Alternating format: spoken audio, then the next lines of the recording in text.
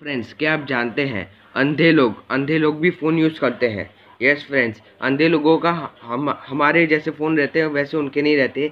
उनके अलग फ़ोन रहते हैं, उनके फ़ोन रहते हैं ब्रेली सेल फ़ोन उन फ़ोन का नाम है ब्रेली सेल फ़ोन वो फ़ोन कुछ अलग टाइप्स के रहते हैं। आपने देखा होगा जो जो अंधे रहते हैं, उनके पास एक बुक रहती है वाइट कलर की प्लेन वाइट वैसे ही कुछ, वैसे ही तरह की एक मोबाइल बनाया जाता है, जिसमें वो अंधे लोगों, अंधे लोग यूज़ करते हैं। ब्लाइंड पर्सन वैसे मोबाइल यूज़ करते हैं। और उन्हें ब्रेली मोबाइल से, ब्रेली सेलफोन के नाम से भी जाना जाता है। अगर फ्रेंड्स वीडियो अच्छा लगा तो लाइक करें शेयर कर सब्सक्राइब करें।